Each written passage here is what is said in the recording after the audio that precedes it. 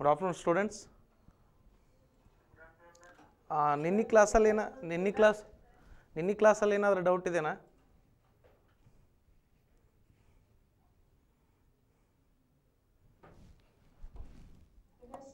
Okay so ಲಾಸ್ಟಿಗೆ ಒಂದೆರಡು ಪಾಯಿಂಟ್ನ ಮರ್ತಿದ್ದೇನಪ್ಪ ಅಂದಾಗ ರಿಗಾರ್ಡಿಂಗ್ ನ್ಯಾಷನಲ್ ಪಾರ್ಕ್ ಇದೆಯಲ್ಲ ರಾಷ್ಟ್ರೀಯ ಉದ್ಯಾನವನ.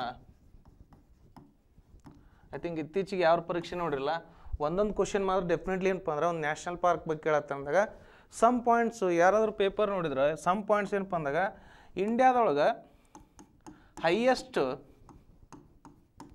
ಹೈಯೆಸ್ಟ್ ನ್ಯಾಷನಲ್ ಪಾರ್ಕ್ ಯಾವ ರಾಜ್ಯದಲ್ಲಿದು? ಇಂಡಿಯಾದೊಳಗೆ highest national Madhya Pradesh.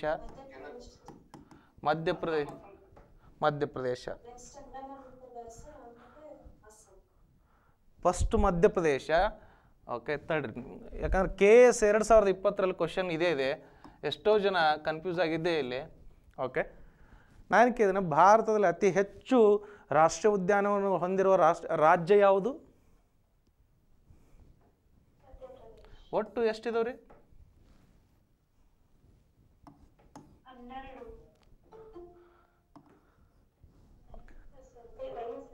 Okay, ಇಲ್ಲಿ ನೋಡ್ಕೊಡ್ರಿ ಕ್ವಶನ್ ಯಾವ ಥರ ಟ್ವಿಸ್ಟ್ ಮಾಡ್ತಾನೆ ನೋಡ್ಕೊಡ್ರಿ. ನೈಂಟಿ ಪರ್ಸೆಂಟ್ ಹುಡುಗರು ಏನಪ್ಪ ಅಂದ್ರೆ ಕೆ ಎಸ್ ಪ್ರಿಲಿಮ್ಸಲ್ಲಿ ಇದೇ ಕ್ವಶನ್ ತಪ್ಪು ಮಾಡಿ ಬಂದರೆ ಎಷ್ಟು ಸಿಂಪಲ್ ಕ್ವಶನಿಂದಾಗ, ಕೆಳಗಿನ ಯಾವುದರಲ್ಲಿ ಅತಿ ಹೆಚ್ಚು ಅತಿ ಹೆಚ್ಚು ನ್ಯಾಷನಲ್ ಪಾರ್ಕ್ ಅಂದ್ರೆ ರಾಷ್ಟ್ರೀಯ ಉದ್ಯಾನವನ ಅಂತೇಳಿ ಒಂದು ಕ್ವಶನ್ ಕೇಳೋಣ.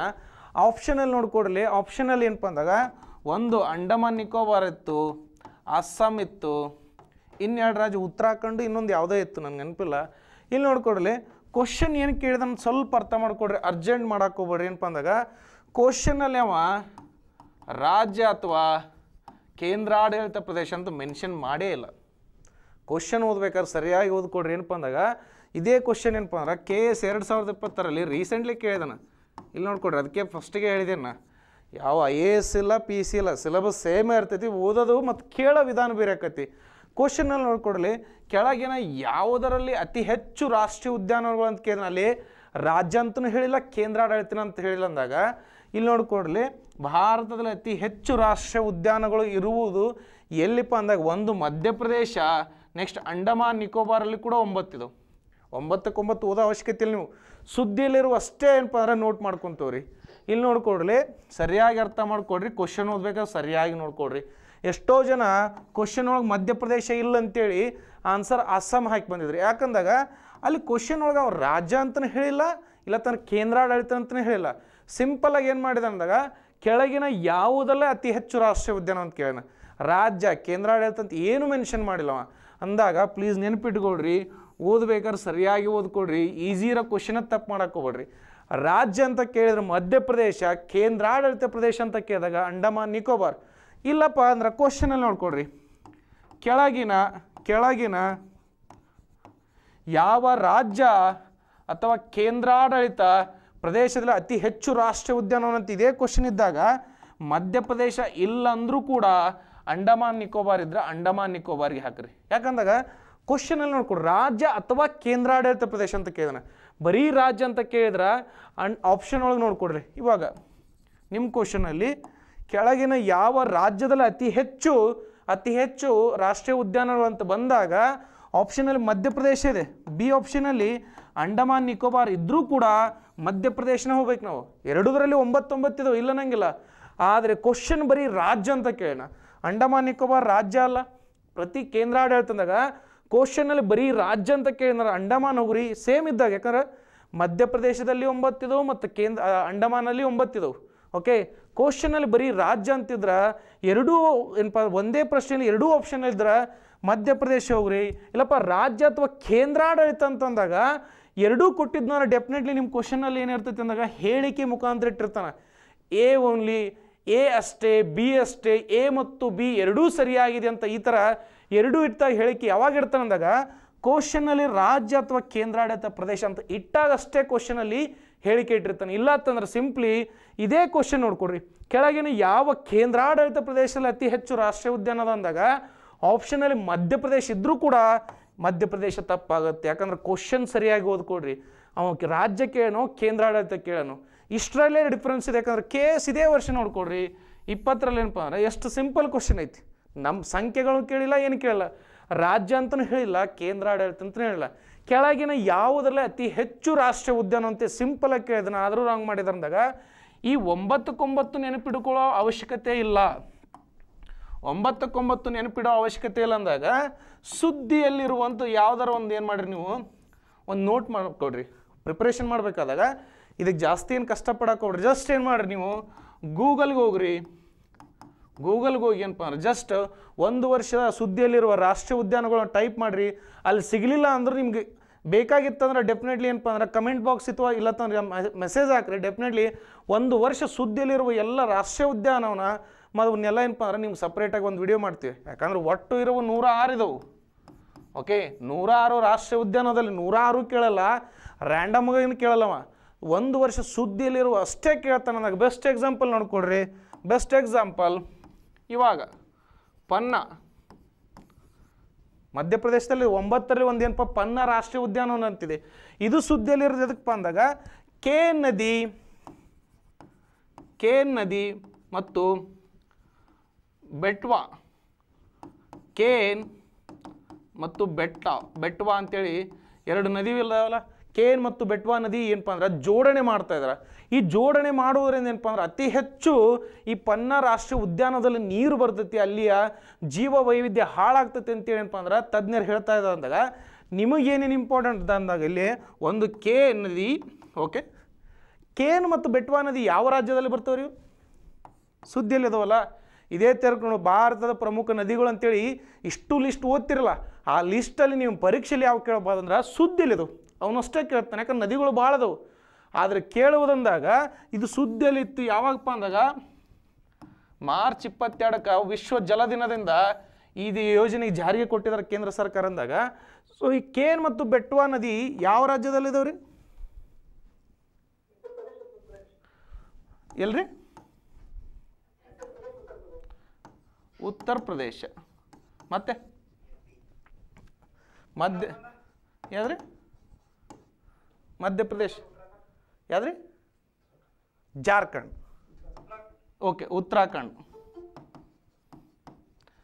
ಇಲ್ಲೇ ನೀವು ನೋಡ್ಕೊಡ್ರಿ ಜಸ್ಟ್ ಕ್ವಶನ್ ಪ್ರಿಡಿಕ್ಷನ್ ಹೆಂಗೆ ಮಾಡೋದಂದಾಗ ಜಸ್ಟ್ ನಿಮ್ಗೆ ಏನಂದೆ ನಾನು, ಕೇನ್ ಮತ್ತು ಬೆಟ್ವಾ ನದಿಯ ಜೋಡಣೆ ಮಾಡುವುದರಿಂದ ಪನ್ನಾ ರಾಷ್ಟ್ರೀಯ ಉದ್ಯಾನವನದಲ್ಲಿ ಏನಪ್ಪ, ಅತಿ ಹೆಚ್ಚು ನೀರು ಬರೋದ್ರಿಂದಾಗ ಅಲ್ಲಿ ಜೀವ ವೈವಿಧ್ಯ ಹಾಳಾಗುತ್ತೆ ಅಂತೇಳಿ ಏನಪ್ಪ ಅಂದ್ರೆ ನಿಮ್ಮ ಪೇಪರಲ್ಲಿ ಆರ್ಟಿಕಲ್ ಬಂದದ. ನನಗೆ ಗೊತ್ತು ಕೇನ್ ಮತ್ತು ಸಾರಿ ಪನ್ನಾ ರಾಷ್ಟ್ರೀಯ ಉದ್ಯಾನ ಮಧ್ಯಪ್ರದೇಶದಲ್ಲಿ ಐತೆ ಅಂದಾಗ ಆಬ್ವಿಯಸ್ಲಿ ಎಲ್ಲಿ ನೀರು, ಅಲ್ಲಿಂದ ಇಲ್ಲಿ ಮಟ್ಟ ನೀರು ಬರೋಂಗಿಲ್ಲಲ್ಲ. ಇವೆರಡೂ ನದಿ ಇಲ್ಲೇ ಜಾಯ್ನ್ ಆಗ್ತಿದ್ದಕ್ಕೆ ಇದು ತ್ರಾಸ ಬಂದಿದಲ್ಲ. ಅಂದಾಗ ನಿಮ್ಗೆ ಆನ್ಸರ್ ಗೊತ್ತಿಲ್ಲ ಅಂದ್ರೆ ಸ್ವಲ್ಪ ಕ್ವಶನ್ ಓದ್ಬೇಕಾದ್ರೆ ಮೈಂಡನ್ನು ಸರಿಯಾಗಿ ಇಟ್ಕೊಂಡು ಓದಿದ್ರಿ ಅಂದ್ರೆ ಅಬ್ವಿಯಸ್ಲಿ ಪ್ರೆಡಿಕ್ಷನ್ ಮಾಡ್ಬೋದು. ಹೌದಲ್ಲ, ಇದು ಮಧ್ಯಪ್ರದೇಶದಲ್ಲೇ ಇರ್ಬೋದಲ್ಲ? ಯಾಕಂದ್ರೆ ಪನ್ನ ಅಂತ ಮೆನ್ಷನ್ ಮಾಡತ್ತಾರಲ್ಲ ಒಂದು ನೋಡ್ರಿ ನಿಮ್ಮ ಪರೀಕ್ಷೆಯಲ್ಲಿ ಕೇನ್ ಮತ್ತು ಬೆಟ್ವಾ ನದಿ ಕೇಳ್ಬೋದು ಇಲ್ಲ ಪನ್ನ ಕೇಳ್ಬೋದು. ಒಂದು ಏನಪ್ಪ ಅಂದ್ರೆ ಡೈಮಂಡ್ ಡೈಮಂಡ್ ಬಗ್ಗೆ ಏನಪ್ಪ ಅಂದಾಗ ಒಂದು ಲಕ್ಷ ಎಷ್ಟು ಒಂದು ಲಕ್ಷದ ಚಿಲ್ಲರ್ ಗಿಡಗಳನ್ನು ಕಡಿಬೇಕಂತೇಳಿ ಆದೇಶ ಕೊಟ್ಟಿದ್ದಾರೆ. ಯಾಕಂದ್ರೆ ಡೈಮಂಡ್ ಗಣಿಗಾರಿಕೆ ಅಂದಾಗ ಭಾರತದಲ್ಲಿ ಒಂದೇ ಒಂದು ಪ್ರದೇಶದಲ್ಲಿ ಏನಪ್ಪ ಅಂದ್ರೆ ಗಣಿಗಾರಿಕೆ ಡೈಮಂಡ್ ಆಕತಿ ಏನಪ್ಪ ಅಂದ್ರೆ ಪನ್ನಾದಲ್ಲಿ. ಸೊ ಇದರ ಇದ್ರ ಇದ್ರ ರಿಲೇಟೆಡ್ ಆದ್ರೆ ಕ್ವಶನ್ ಕೇಳ್ಬೋದು. ಹೌದು. ಕೇನ್ ಮತ್ತು ಬೆಟ್ವಾ ನದಿಗಳು ಯಾವ ನದಿಯ ಉಪನದಿ ಅಂತ ಕೇಳ್ಬೋದು? ಯಾವ ರಿವರ್ ದ ಟ್ರೈಬ್ಯೂಟ್ರೀಸ್ ಅಂತ ಕೇಳ್ಬೋದು ಅಂದಾಗ ಕೇನ್ ಮತ್ತು ಬೆಟ್ವಾ ನದಿ ಯಾವ ನದಿಯ ಉಪನದಿ ಗಂಗಾ, ಮತ್ತೆ? ಯಮುನಾ, ಮತ್ತೆ? ಮತ್ತೆ? ನರ್ಮದಾ. ನಾ ಈ ಕ್ವಶನ್ ಈ ಆನ್ಸರ್ಗೆ ವೇಟ್ ಮಾಡತ್ತಿದ್ದೆ ನಾ.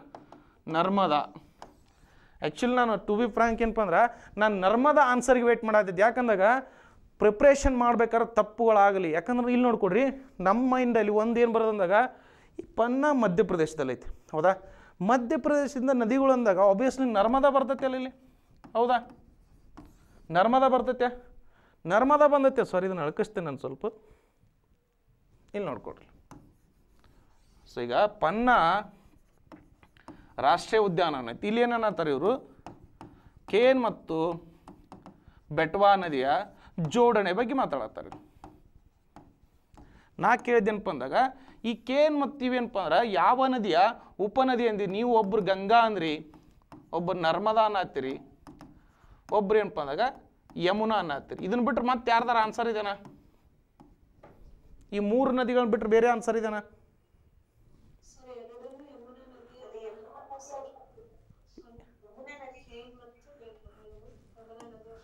ಓಕೆ ಯಾರು ನರ್ಮದಾ ಅಂದ್ರಲ್ಲ, ನಾವೇನು ಮಾಡ್ತೀವಿ ಈಗ? ಒಂದು ಬ್ಲೈಂಡಾಗಿ ಏನು ಮಾಡತ್ತೀವಿ ಅಂದಾಗ ಡೆಫಿನೆಟ್ಲಿ ಈ ಕ್ವಶನಲ್ಲಿ ಬೇಕಂತ ನಮ್ಮ ಟೆಂಪ್ಟ್ ಮಾಡ್ಬೇಕಂತೇಳಿ ಏನಪ್ಪ ಅಂದ್ರೆ ರಾಂಗ್ ಆನ್ಸರ್ ಹಾಕ್ಲಿಂತ ಟೆಂಪ್ಟ್ ಮಾಡೋಕೆ ನರ್ಮದ ಕೊಡ್ತಾನೆ. ಯಾಕಂದ್ರೆ ನಾವೇನು ಮಾಡಿಬಿಡ್ತೀವಿ ಇಲ್ಲಿ? ಹೌದಲ್ಲ ಇಲ್ಲಿ ಏನಪ್ಪ ಅಂದ್ರೆ ಮಧ್ಯಪ್ರದೇಶದ ಅಮರ್ಕಂಟಕದ ನದಿ, ಅಮರ್ಕಂಟದಿಂದ ಏನಪ್ಪ ನರ್ಮದಾ ನದಿ ಹರಿತೈತಲ್ಲ ಆಬ್ವಿಯಸ್ಲಿ ಇಲ್ಲಿ ಮಧ್ಯಪ್ರದೇಶ ಅಂದಾಗ ನಾವೇನು ತಿಳ್ಕೊತೀವಿ? ಕೆ ಎನ್ ಮತ್ತು ಬೆಟ್ವಾ ಏನಪ್ಪ ಅಂದ್ರೆ ಆಬ್ವಿಯಸ್ಲಿ ನರ್ಮದಾ ಅಂತ ತಿಳ್ಕೊಬೋದು. ನರ್ಮದ ನರ್ಮದಾ ಅಂತ ಇರ್ಬೋದು. ಇಲ್ಲಿ ನೋಡ್ಕೊಳ್ರಿ, ಇದೆಲ್ಲ ನದಿಗಳು ಯಾವ ದಿಕ್ಕಿನಲ್ಲಿ ಹರಿತೀವಿ ಯಾವ್ದಂತ ಅದು ಅರ್ಥ ಆಗ್ಬೇಕಂದ್ರೆ ನಮಗೇನಪ್ಪ ಅಂದಾಗ ಫಿಸಿಕಲ್ ಜಾಗ್ರಫಿ ಅಂತೀವಲ್ಲ ಫಿಸಿಕಲ್ ಜಾಗ್ರಫಿ ತಿಳ್ಕೊಬೇಕಂದಾಗ ನಮ್ಮ ಭಾರತದ ಭೌಗೋಳಿಕ ಲಕ್ಷಣಗಳು ಗೊತ್ತಾದ್ರೆ ಗೊತ್ತಾಗುತ್ತೆ ನಮ್ಗೆ, ಎಲ್ಲಿ ಏರಿದೆ, ಎಲ್ಲಿ ತೆಗ್ಗಿದೆ ಅಂತೇಳಿ. ಇಲ್ಲಿ ನೋಡ್ಕೊಡ್ರಿ ಕೇನ್ ಮತ್ತು ಬೆಟ್ವಾ ಏನಪ್ಪ ಅಂದಾಗ, ಯಮುನಾ ನದಿಯ ಉಪನದಿ, ಗಂಗಾ ನದಿ ಅಲ್ಲ, ಅದೊಂದು ತಲೆಯಲ್ಲಿರಲಿ ಸೊ ಪ್ಲೀಸ್ ನರ್ಮದಾ ಅಂತಿರಲ್ಲ, ಹೌದು ನರ್ಮದಾ ನದಿ ಮಧ್ಯಪ್ರದೇಶದಲ್ಲೇ ಇಲ್ಲ ಅನ್ನಂಗಿಲ್ಲ, ಆದರೆ ಕೇನ್ ಮತ್ತು ಬೆಟ್ವಾ ನದಿ ಏನಪ್ಪ ಅಂದ್ರೆ ಯಮುನಾ ನದಿ ನದಿ ಏನಪ್ಪ ಅಂದ್ರೆ ಯಮುನಾ ನದಿ ಯಮುನಾ ನದಿ ಏನಪ್ಪ ಅಂದಾಗ ಯಮುನಾ ನದಿ ಯಾವ ನದಿಯ ಉಪನದಿ?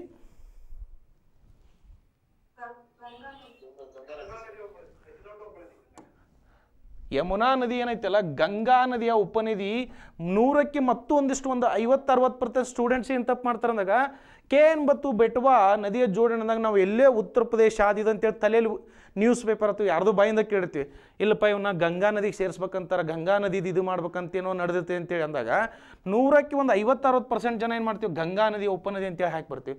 ಈ ಮೂರು ಆಪ್ಷನ್ ಮುದ್ದಾಮಿಟ್ಟಿರ್ತಾನೆ ಬೇಕಂತೇಳಿ. ಬೇಕಂತ ಇರ್ತಾನೆ ಏನೂ ಗೊತ್ತಿಲ್ಲ ಅಂದ್ರೆ ಲಾಸ್ಟಿಗೆ ಒಂದು ಡಿ ಆಪ್ಷನ್ ಇರ್ತೈತಿ. ಯಾವ್ದ್ರಿ? ಮೇಲಿನ ಯಾವುದೂ ಅಲ್ಲ. ಯಾರಿಗಾದ್ರೆ ಏನಪ್ಪ ಅಂದ್ರೆ ಯಾವುದೇ ಪರೀಕ್ಷೆಯಲ್ಲಿ ನೆಗೆಟಿವ್ ಮಾರ್ಕ್ಸ್ ಇಲ್ಲ ಅಂತಂದ್ರೆ ಡೆಫಿನೆಟ್ಲಿ ಗೊತ್ತಿಲ್ದಾರ ಇದಕ್ಕೆ ಹಾಕ್ತಾರೆ. ಇಲ್ಲಪ್ಪ ನೆಗೆಟಿವ್ ಮಾರ್ಕ್ಸ್ ಐತಿಪ್ಪ ಈ ಎಕ್ಸಾಮ್ಗೆ ಅಂತಂದ್ರೆ ಸುಮ್ಮನೆ ಖಾಲಿ ಬಿಟ್ಟು ಬರ್ತೀವಿ. ಸೊ ಅದಕ್ಕೆ ಐತಲ್ಲ ಓದಬೇಕಾದ್ರೆ ಯಾವುದಾದ್ರೂ ರಾಷ್ಟ್ರೀಯ ಉದ್ಯಾನ ಸುದ್ದಿಯಲ್ಲಿ ಬಂತಂದ್ರೆ ಅದ್ರ ತಕ್ಕಂಗೆ ಏನಪ್ಪ ಅಂದ್ರೆ ಅದು ಸುತ್ತಮುತ್ತಲು ಏನಾದರೂ ಪ್ರಚಲಿತ ಘಟನೆ ಆಗ್ಯಾವ ನೋಡ್ಕೊಳ್ರಿ. ಓಕೆ ಇದರ್ಥ ಆಯ್ತಾ? So please ನೆನ್ಪಿಟ್ಕೊಳ್ರಿ. ಕೇನ್ ಮತ್ತು ಬೆಟ್ವಾ ನದಿ ಏನಪ್ಪ ಅಂದಾಗ ಯಮುನಾ ನದಿಯ ಉಪನದಿ ನರ್ಮದನ ಅಲ್ಲ ಗಂಗಾನ ಅಲ್ಲ ಸೊ ಈಗ ನೋಡ್ಕೊಡ್ರಿ ಪಿ ಎಸ್ ಐಗೆ ಹೋದರೆ ಇದು ಸ್ವಲ್ಪ ಡೀಟೇಲಾಗಿ ಓದ್ಕೊಡ್ರಿ ಇಷ್ಟು. ಪಿ ಸಿಗೆ ಹೋದ್ರೆ ಏನಪ್ಪ ಅಂದ್ರೆ ಎಷ್ಟೋ ಪರೀಕ್ಷೆಯಲ್ಲಿ ಕೇಳಿದಾರೆ ನೋಡ್ರಿ. ಪೂರ್ವಕ್ಕೆ ಹರಿಯುವ ನದಿಗಳು ಯಾವುವು ಪಶ್ಚಿಮಕ್ಕೆ ಹರಿವುಗಳ ನದಿ ಯಾವುವು ಐ ಥಿಂಕ್ ನೋಡಿರ್ಬೇಕು ಈ ಕ್ವಶನ್ ನರ್ಮದ, ನರ್ಮದಾ ನದಿ ಯಾವ ದಿಕ್ಕಿನ ಕಡೆ ಹರಿತೈತ್ರಿ?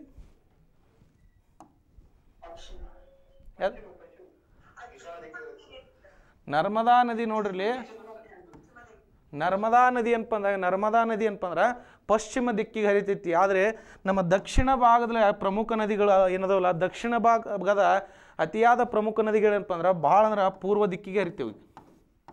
ಓಕೆ ನಮ್ಮ ದಕ್ಷಿಣ ಭಾಗದಲ್ಲಿ ಏನಪ್ಪ ಅಂದ್ರೆ ಅತಿ ಹೆಚ್ಚು ಏನಪ್ಪ ದೊಡ್ಡ ದೊಡ್ಡ ನದಿಗಳಲ್ಲ, ಅತಿ ಹೆಚ್ಚು ಏನಪ್ಪ ಅಂದ್ರೆ ಪೂರ್ವ ದಿಕ್ಕಿಗೆ ಹರಿತೀವಿ. ಆದರೆ, ಇಲ್ಲಿ ನೋಡ್ಕೊಡ್ರಿ, ಪಶ್ಚಿಮ ದಿಕ್ಕಂತ ಒಂದು ನೆನ್ಪಿಟ್ಕೊಡ್ರಿ ಒಂದು ನರ್ಮದಾ ತಾಪಿ ಮೇನ್ ಮೇನ್ ಇರೋ ಅಷ್ಟೇ ನೋಡ್ಕೊಡ್ರಿ ಉಪನದಿಗಳ ಅವಶ್ಯಕತೆ ಇಲ್ಲ, ಸುದ್ದಿಯಲ್ಲಿ ಬಂದ್ರೆ ಅಷ್ಟೇ ನೆನ್ಪಿಟ್ಕೊಡ್ರಿ ಓಕೆ ನೆಕ್ಸ್ಟ್ ನೋಡ್ಕೊಡ್ರಿ ಪನ್ನ ಅಂತು. ನೆಕ್ಸ್ಟು ಇತ್ತೀಚೆಗೆ ಮತ್ತೊಂದು ಸುದ್ದಿಯಲ್ಲಿತ್ತು ಯಾರಾದ್ರೂ ಕೇಳಿರಿಲ್ಲ ಇಲ್ಲಿ? ನೋಡ್ಕೊಡ್ರಿ ನಾನು ನೂರ ಆರಕ್ಕೆ ನೂರ ಆರು ಓದ್ಬೇಡ್ರಿ ಅಂತ ಹೇಳ್ತಾ ಇದ್ದೀನಿ. ಜಸ್ಟ್ ಸುದ್ದಿಯಲ್ಲಿರು ಅಂತೇಳಿ.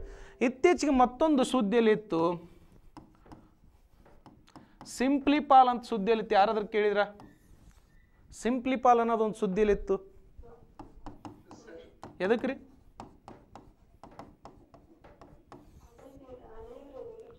ಸಿಂಪ್ಲಿ ಯಾಕಂದ್ರೆ ನೋಡಲಿ, ನಾ ಏನು ಹೇಳತ್ತೆ ನೂರ ಆರು ರಾಷ್ಟ್ರೀಯ ಉದ್ಯಾನದಲ್ಲಿ ನೂರ ಆರಕ್ಕೆ ಓದೋ ಅವಶ್ಯಕತೆ ಇಲ್ಲ.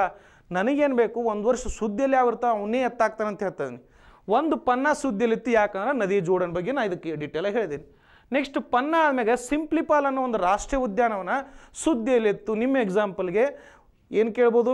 ಇಲ್ಲಿ ನೋಡ್ಕೊಡ್ರಿ ಸಿಂಪ್ಲಿಪಾಲ್ ಅನ್ನೋದೇನಪ್ಪ ಅಂದಾಗ, ಜೀವಗೋಳನೇ ಇದೆ. ರಾಷ್ಟ್ರೀಯ ವನ್ಯಜೀವಿ ರಾಷ್ಟ್ರೀಯ ವನ್ಯಜೀವಿ ಅಭಯಾರಣ್ಯ ಇದೆ. ನೆಕ್ಸ್ಟ್ ರಾಷ್ಟ್ರೀಯ ಉದ್ಯಾನ ಅಂದಾಗ ಬಯೋಸ್ಪಿಯರೇ ಇದೆ ವೈಲ್ಡ್ ಲೈಫ್ ಸೆಂಚುರಿ ಇದೆ, ಮತ್ತು ಏನಪ್ಪ ನ್ಯಾಷನಲ್ ಪಾರ್ಕ್ ಇದೆ. ಇದು ಸುದ್ದಿಯಲ್ಲಿತ್ತು ಯಾಕೆ? ಯಾವ ಕಾರಣದಿಂದ ಸುದ್ದಿಯಲ್ಲಿತ್ತು? ಐ ಥಿಂಕ್ ಜನ್ಯೂ ಎಕ್ಸಾಕ್ಟ್ಲಿ ಕಾಡ್ಗಿಚ್ಚು ಅಂತೀವಲ್ಲ? ಕಾಡ್ಗಿಚ್ಚು ಫಾರೆಸ್ಟ್ ಫೈರ್ ಅಂತೀವಲ್ಲ? ಫಾರೆಸ್ಟ್ ಫೈರ್ ಆಗಿತ್ತು. ಅದಕ್ಕೆ ಸುದ್ದಿಯಲ್ಲಿ ತಂದಾಗ ನಿಮ್ಮ ಎಕ್ಸಾಮ್ಗೆ ಏನಪ್ಪ ಅಂದ್ರೆ ಈ ಥರ ಸುದ್ದಿಯಲ್ಲಿ ಏನು ಮೆನ್ಷನ್ ಮಾಡಿರ್ತಾನಲ್ಲ, ಅದೇ ಕ್ವಶನ್ನ ಒನ್ ವರ್ಡ್ ಆಗಿ ಕೇಳ್ತಾನೆ, ಈ ರಾಷ್ಟ್ರೀಯ ಉದ್ಯಾನ ಎಲ್ಲಿದೆ ಅಂತ ಕೇಳ್ಬೋದು. ಈ ರಾಷ್ಟ್ರೀಯ ಉದ್ಯಾನ ಯಾವ ರಾಜ್ಯ ಯಾವ ರಾಜ್ಯ ಇದು? ಓಕೆ ಒಡಿಸ್ಸಾ ಓಕೆ ಒಡಿಸ್ಸಾ ನೆನ್ಪಿಟ್ಕೊಡ್ರಮ್ಮ ಅಸ್ಸಾಂ ಅಲ್ಲ. ಸಿಂಪ್ಲಿಪಾಲ್ ಏನಪ್ಪ ಅಂದ್ರೆ ಒಡಿಸ್ಸಾ ಓಕೆ ಈ ಸಿಂಪ್ಲಿಪಾಲ್ ಅನ್ನೋದು ಏನಪ್ಪ ಅಂದ್ರೆ ಇಲ್ಲಿ ಕಾಡ್ಗಿಚ್ಚು ಆಗಿತ್ತು ಕಾಡ್ಗಿಚ್ಚು ಆಗಿತ್ತು ಅದಕ್ಕೆ ಸುದ್ದಿಯಲ್ಲಿತ್ತು. ಓಕೆ ಇಲ್ಲಿ ಕಾಡ್ಗಿಚ್ಚು ಆಗಲು ಕಾರಣ ಏನಂತ ಯಾರಾದರೂ ಹೇಳ್ತೀರಾ? ಹಾಗೆ ಜಸ್ಟ್ ಒಂದು ಟೂ ಮಿನಿಟ್ಸಲ್ಲಿ ಒಡಿಸ್ಸಾ ಅಂತ ಹೇಳ್ತಾ ಇದ್ದೀವಿ ನಾವು ಏನ್ರಿ? ಓಕೆ ಸಿಲ್ಕ್ ಕಾಟನ್ ಮತ್ತೆ?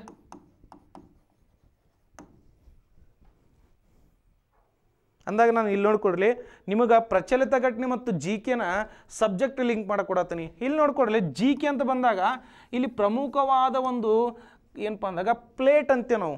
ಎಷ್ಟೋ ಎಕ್ಸಾಮ್ಸಲ್ಲಿ ಕೇಳಿದನ, ಭಾರತದ ಭಾರತದ ಭವಿಷ್ಯದ ಅತಿ ಹೆಚ್ಚು ಖನಿಜಗಳು ಏನಪ್ಪ ಅಂದ್ರೆ ಇಲ್ಲೊಂದು ಛೋಟಾ ನಾಗ್ಪುರ್ ಪ್ಲೇಟ್ ಅಂತ ಬರ್ತೀರಿ, ಕೇಳಿರಿ ಯಾರು?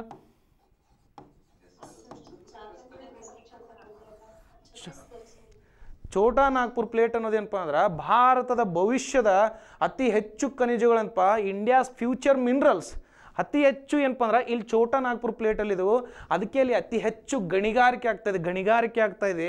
ಅದರಿಂದ ಏನಪ್ಪ ಅಂದ್ರೆ ವಾತಾವರಣ ಪೂರ್ತಿ ಬಿಸಿ ಬಿಸಿ ಬಿಸಿ ಆಗಿರೋದ್ರಿಂದ ಏನಪ್ಪ ಅಂದಾಗ ಯಾವುದೇ ಗಾಳಿ ಹೋಗಬೇಕಾದಾಗ ಗಾಳಿಯಲ್ಲಿ ಒಂದು ಸ್ವಲ್ಪ ಕಿಡಿದ್ರೂ ಕೂಡ ನೀರಿನ ತೇವಾಂಶ ಇರಲ್ಲ ಗಾಳಿಯಲ್ಲಿ ಅದಕ್ಕೇನಪ್ಪ ಅಂದ್ರೆ ಗಾಳಿ ಅತಿ ವೇಗವಾಗಿ ಹೋಗ್ತಾ ಇರ್ತಾ ಏನಪ್ಪ ಅಂದ್ರೆ ಸಣ್ಣ ಸಣ್ಣ ಏನಪ್ಪ ಅಂದಾಗ ಮರಳು ಕಣಗಳು ಇರ್ತಾವಲ್ಲ ಸ್ಯಾಂಡ್ ಪಾರ್ಟಿಕಲ್ಸ್ ಅವು ಘರ್ಷಣೆ ಉಂಟಾದಾಗ ಸ್ವಲ್ಪ ಸ್ಪಾರ್ಕ್ ಸ್ವಲ್ಪ ಬೆಂಕಿ ಎತ್ತಿದ್ರೆ ಏನಪ್ಪ ಅಂದಾಗ ಗಾಳಿ ಹೇಗೂ ಒಣಗಿದೆ, ಯಾಕಂದ್ರೆ ಬಿಸಿ ಬಿಸಿ ಇದೆ. ಅವೇನು ಮಾಡ್ತಾವೆ ಅಂದಾಗ ಅತಿ ಹೆಚ್ಚು ವೇಗವಾಗಿ ತೊಗೊಂಡು ಹೋದಾಗ ಇಲ್ಲಿ ಪ್ರದೇಶದಲ್ಲಿ ಏನಪ್ಪ ಅಂದ್ರೆ ಅತಿ ಹೆಚ್ಚು ಗಣಿಗಾರಿಕೆ ಇರೋದ್ರಿಂದ ಅತಿ ಹೆಚ್ಚು ತಾಪಮಾನ ಐತಿ. ಅದಕ್ಕೇನಪ್ಪ ಅಂದ್ರೆ ಕಾಡ್ಗಿಚ್ಚು ಆಗೋ ಸಾಧ್ಯತೆ ಎದಕ್ಕಾಗ್ತದೆ ಅಂದಾಗ ಗಣಿಗಾರಿಕೆನೂ ಒಂದು ರೀಸನ್ನು ಹವಾಮಾನ ಬದಲಾವಣೆನೂ ಕೂಡ ಒಂದು ಎಕ್ಸಾಂಪಲ್ ಅರ್ಥ ಆಯ್ತಾ? ಇನ್ನೊಂದು ಈ ಭಾಗದಲ್ಲಿ ಸಾರಿ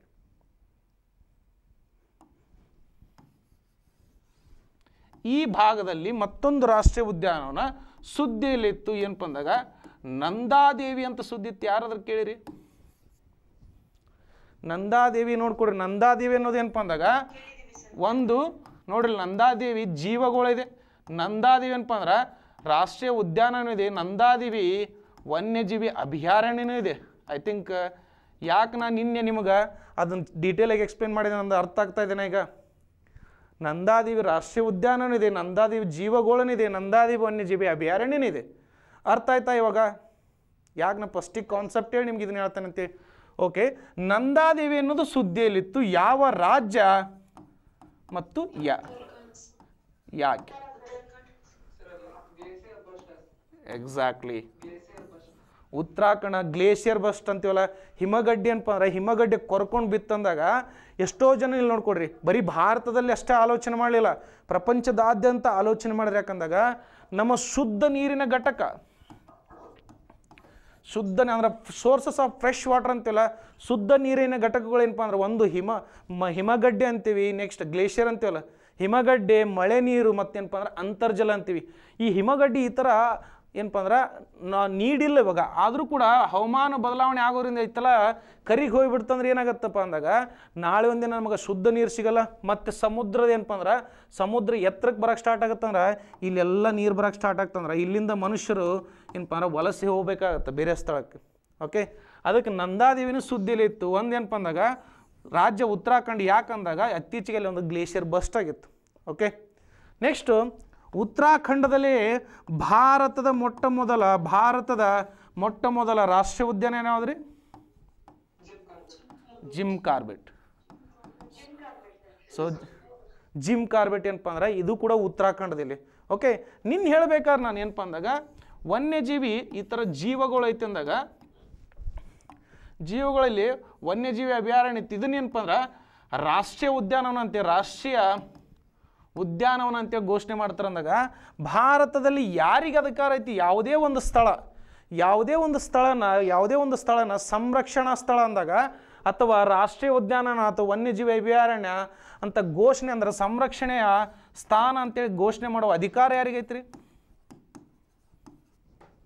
ಭಾರತದಲ್ಲಿ ಯಾವುದೇ ಒಂದು ಸ್ಥಳವನ್ನು, ಯಾವುದೇ ಒಂದು ಸ್ಥಳವನ್ನು ಏನಪ್ಪ ಅಂದಾಗ, ಇದು ಸಂರಕ್ಷಣೆಯ ಸ್ಥಳ ಅಂದಾಗ, ಅಥವಾ ಪ್ರೊಟೆಕ್ಟೆಡ್ ಏರಿಯಾ ಅಂತೇವಲ್ಲ ಪ್ರೊಟೆಕ್ಟೆಡ್ ಏರಿಯಾ ಅಂತ ಘೋಷಣೆ ಮಾಡುವ ಅಧಿಕಾರ ಯಾರಿಗೈತ್ರಿ ಇದು ಭಾಳ ಇಂಪಾರ್ಟೆಂಟ್ ಎಷ್ಟೋ ಪರೀಕ್ಷೆಯಲ್ಲಿ ಕೇಳಿದೆ ಬಾ ನಾ ಕೇಳಿದ ಕ್ವಶನ್ ನೋಡಿಲಿ ನಿನ್ನೆ ಅರ್ಥ ಮಾಡ್ಕೊಂಡ್ರು ಜೀವಗಳ, ವನ್ಯಜೀವಿ ವಿವರಣೆ ರಾಷ್ಟ್ರೀಯ ಉದ್ಯಾನ ಯಾಕೆ ಮಾಡ್ತಾರೆ, ಯಾಕೆ ಅಪ್ಡೇಟ್ ಮಾಡ್ತಾರೆ ಇದನ್ನ, ಯಾಕೆ ಇದು ಮಾಡ್ತಾರೆ? ಯಾಕಂದ್ರೆ ರೈಮೋನ ನೂರ ಐನದ್ದು ಮತ್ತು ದಿಹಿಂಗ್ ಪಟ್ಕ ಇವೆಲ್ಲ ಏನಪ್ಪ ಅಂದಾಗ, ವನ್ಯಜೀವಿ ಅಭಯಾರಣ್ಯದ್ದು ಇವಾಗ ಅವ್ನು ಏನು ಮಾಡಿದಾರೆ ಅಂದಾಗ, ರಾಷ್ಟ್ರೀಯ ಉದ್ಯಾನವನ್ನು ಮಾಡಿದ್ದಾರೆ ಒಮ್ಮೆ ರಾಷ್ಟ್ರೀಯ ಉದ್ಯಾನವನ್ನು ಮಾಡಿದ್ರೆ ಅಲ್ಲಿ ಗಣಿಗಾರಿಕೆ ಅಂದರೆ ಮನುಷ್ಯನ ಚಟುವಟಿಕೆಗೆ ನಡೆಯಲ್ಲ ನೆಕ್ಸ್ಟ್ ಮನುಷ್ಯನ ವಾಸಿಸಲು ಬಿಡಲ್ಲ ಅಂತ ಹೇಳಿದ್ದೀನಿ ಅಂದರೆ ಭಾರತದಲ್ಲಿ ಯಾವುದೇ ಒಂದು ಪ್ರದೇಶವನ್ನು ಅಥವಾ ಯಾವುದೇ ಒಂದು ಅರಣ್ಯವನ್ನು, ಇದು ರಾಷ್ಟ್ರೀಯ ಉದ್ಯಾನವನ ಅಥವಾ ಪ್ರೊಟೆಕ್ಟೆಡ್ ಏರಿಯಾ ಅಂತ ಘೋಷಣೆ ಮಾಡುವ ಅಧಿಕಾರ ಯಾರಿಗೆ ಕೊಟ್ಟಿದ್ದಾರೆ? ಎಷ್ಟೋ ಪರೀಕ್ಷೆಯಲ್ಲಿ ಕೇಳ, ಯಾರಿಗ್ರಿ? ರಾಜ್ಯ ಸರ್ಕಾರ. ಮತ್ತೆ? ನಾ ಕೇಳಿದ ಕ್ವಶನ್ ಅರ್ಥ ಆಯ್ತಾ? ನಾ ಏನಂದೀಗ ರೈಮೋನ ಈಗ ನೂರ ಐದನೇ ರಾಷ್ಟ್ರೀಯ ಉದ್ಯಾನ ಐತಲ್ಲ ರೈಮೋನ ಅಂತೇಳಿ ಅಸ್ಸಾಂ ಅನ್ನತ್ತಿರಲಿ ನೀವು. ನೆಕ್ಸ್ಟ್ ನೂರ ಆರನೇದು ದಿಹಿಂಗ್ ಪಟ್ಕೈ. ಇವು ಯಾವ ರಾಜ್ಯ ಇವು? ಎರಡು? ಅಸ್ಸಾಂ.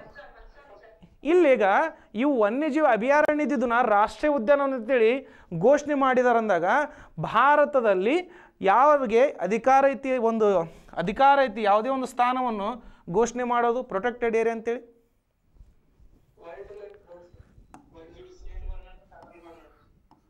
ಇಲ್ಲಿ ನೋಡ್ಕೊಳ್ರಿ, ಭಾರತದಲ್ಲಿ ಯಾವುದೇ ಒಂದು ಸ್ಥಾನದ, ಯಾವುದೇ ಒಂದು ಸ್ಥಾನವನ್ನು ಏನಪ್ಪ ಅಂದಾಗ, ಅದು ಏನಪ್ಪ, ಮೀಸಲು ಪ್ರದೇಶ ಅಥವಾ ಪ್ರೊಟೆಕ್ಟೆಡ್ ಏರಿಯಾ ಅಥವಾ ರಾಷ್ಟ್ರೀಯ ಉದ್ಯಾನ ಅಂತ ಘೋಷಣೆ ಮಾಡುವ ಅಧಿಕಾರ ಏನಪ್ಪ ಅಂದಾಗ ಪ್ಲೀಸ್ ನೆನ್ಪಿಟ್ಕೊಡ್ರಿ ರಾಜ್ಯ ಸರ್ಕಾರಕ್ಕೆ ಐತಿ.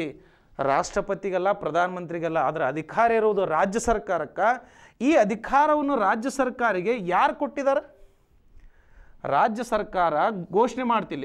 ಒಂದು, ಇದು ನೋಡಪ್ಪ, ರಾಷ್ಟ್ರೀಯ ಉದ್ಯಾನ ಅಂತೇಳಿ. ಓಕೆ ರಾಜ್ಯ ಸರ್ಕಾರ ಯಾವುದನ್ನು ರಾಷ್ಟ್ರೀಯ ಉದ್ಯಾನವನಂತೆ ಘೋಷಣೆ ಮಾಡ್ತೈತೆ ನೋಡ್ರಿ, ಅದನ್ನ ಏನು ಮಾಡಬೇಕು? ಕೇಂದ್ರ ಸರ್ಕಾರ ಕಾಪಾಡಬೇಕು, ಸಂರಕ್ಷಣೆ ಮಾಡ್ಬೇಕು. ಇಲ್ಲಿ ನಮ್ಮ ಬಂಡೀಪುರ ಇದೆಯಲ್ಲ ಕರ್ನಾಟಕ ಸರ್ಕಾರ ಬಂಡೀಪುರ ರಾಷ್ಟ್ರೀಯ ಉದ್ಯಾನ ಘೋಷಣೆ ಮಾಡಿದೆ ಘೋಷಣೆ ಮಾಡಿದೆ. ಅದನ್ನು ಕೇಂದ್ರ ಸರ್ಕಾರ ಏನಪ್ಪ ಅಂದ್ರೆ ಪ್ರತಿ ವರ್ಷ ಅದಕ್ಕೆ ಫಂಡ್ ಕೇಂದ್ರ ಸರ್ಕಾರದಿಂದ ಬರ್ತೈತಿ.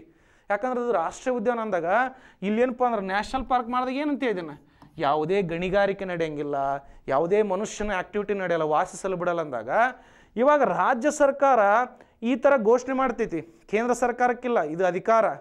ರಾಜ್ಯ ಸರ್ಕಾರಗಳ ಕೋರಿಕೆ ಮೇರೆಗೆ ಅವ್ರು ಮಾಡ್ಬೇಕಂದಾಗ ಇಷ್ಟು ರಾಜ್ಯ ಸರ್ಕಾರಕ್ಕೆ ಇಷ್ಟು ಅಧಿಕಾರ ಕೊಟ್ಟಿದ್ದು ಯಾರು ಭಾರತದಲ್ಲಿ? ಸಂವಿಧಾನ. ಮತ್ತೆ? ಮತ್ತೆ? ಇಲ್ಲಿ ನೋಡ್ಕೊಡ್ರಿ ಒಂದು ಕ್ವಶನ್ ನೆನ್ಪಿಟ್ಕೊಡ್ರಿ ಭಾರತದಲ್ಲಿ ಯಾವುದೇ ಸ್ಥಾನವನ್ನು ಪ್ರೊಟೆಕ್ಟೆಡ್ ಏರಿಯಾ ಅಥವಾ ಮೀಸಲು ಪ್ರದೇಶ ಅಂತ ಘೋಷಣೆ ಮಾಡುವುದು ಅಧಿಕಾರ ರಾಜ್ಯ ಸರ್ಕಾರಕ್ಕೆ ಐತಿ. ಇಲ್ಲಿ ನೋಡ್ರಿ ಕೇಂದ್ರ ಸರ್ಕಾರನ ಘೋಷಣೆ ಮಾಡವಲ್ತು. ಆದರೆ ರಾಜ್ಯ ಸರ್ಕಾರಗಳು ಒಪ್ಪಿಗೆ ಕೊಟ್ಟರಷ್ಟೇ ಘೋಷಣೆ ಮಾಡ್ಬೋದು ಯಾವುದು ಕೇಂದ್ರ ಸರ್ಕಾರ? ಅದಕ್ಕೆ ಸಂಪೂರ್ಣ ಅಧಿಕಾರ ರಾಜ್ಯ ಸರ್ಕಾರದ ಮೇಲೆ ಬಿಟ್ಟಿದ್ದಾರೆ. ಹಾಗಾದರೆ ರಾಜ್ಯ ಸರ್ಕಾರಗಳಿಗೆ ಈ ಅಧಿಕಾರವನ್ನು ಕೊಟ್ಟಿದ್ದ್ಯಾರು ಒಂದು ಸಂವಿಧಾನ ಅಂತೀರಿ ಮತ್ತೆ? ಎನಿ ಗೆಸ್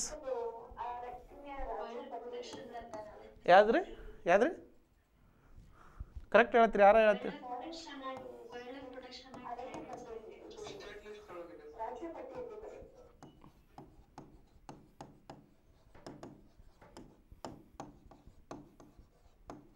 ಸೊ ಪ್ಲೀಸ್ ನೆನ್ಪಿಟ್ಕೊಡ್ರಿ ವೈಲ್ಡ್ ಲೈಫ್ ಪ್ರೊಟೆಕ್ಷನ್ ಆ್ಯಕ್ಟ್ ಇದೆಯಲ್ಲ ಹತ್ತೊಂಬತ್ತು ನೂರ ಎಪ್ಪತ್ತೆರಡು. ಹತ್ತೊಂಬತ್ತು ನೂರ ಎಪ್ಪತ್ತೆರಡು ವನ್ಯಜೀವಿ ಸಂರಕ್ಷಣಾ ಕಾಯ್ದೆ ಹತ್ತೊಂಬತ್ತು ನೂರ ಎಪ್ಪತ್ತೆರಡು ರಾಜ್ಯ ಸರ್ಕಾರಗಳಿಗೆ ಏನಪ್ಪ ಅಂದಾಗ ಸಂಪೂರ್ಣ ಅಧಿಕಾರ ಕೊಟ್ಟಿದೆ. ಏನಪ್ಪ ಅಂದಾಗ ನೀವು ಯಾವುದೇ ಒಂದು ಪ್ರದೇಶವನ್ನು ಮೀಸಲು ಪ್ರದೇಶ ಅಂತ ಘೋಷಣೆ ಮಾಡಿರಿ, ಅದನ್ನ ಏನಪ್ಪ ಅಂದ್ರೆ ಕೇಂದ್ರ ಸರ್ಕಾರ ಕಾಪಾಡ್ದತ್ತೆ ಯಾಕಂದಾಗ ನಮ್ಮದು ಯಾವ ಥರದ ವ್ಯವಸ್ಥೆ ಇದೆ ಕೇಂದ್ರ ಮತ್ತು ರಾಜ್ಯದ್ದು? ಭಾರತದಲ್ಲಿ ಯಾವ ಯಾವುದ್ರಿ? ಫೆಡ್ರಲ್ ಇದೆನಾ ಕಾಸಿ ಫೆಡ್ರಲ್ ಇದೆನಾ?